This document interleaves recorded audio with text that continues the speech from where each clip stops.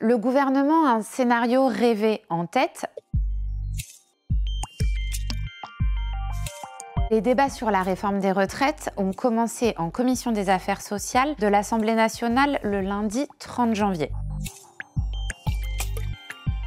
Ils ont déjà donné lieu à des affrontements assez euh, tendus et musclés. Deuxième round le 6 février dans l'hémicycle de l'Assemblée nationale. Ce jour-là sera examinée la motion référendaire défendue par le Rassemblement national. Donc les débats vont commencer par un bel affrontement entre le gouvernement d'une part et les troupes de Marine Le Pen d'autre part. Les députés auront ensuite jusqu'au 17 février minuit pour examiner le texte du gouvernement. Si à cette date les discussions ne sont pas terminées, alors le texte part directement au Sénat sans même qu'il y ait eu un vote des députés. Il faudra ensuite que l'examen du texte au Parlement soit bouclé définitivement avant le 26 mars minuit. Le gouvernement a un scénario rêvé en tête, à savoir qu'après une lecture à l'Assemblée nationale et une lecture au Sénat, les deux chambres parviennent à se mettre d'accord dans ce qu'on appelle une commission mixte paritaire où la droite sénatoriale sera plutôt en position de force. L'idée est donc que le texte d'Élysée Elisabeth Borne puisse être adoptée fin mars. Mais ça, c'est si tout se passe comme prévu.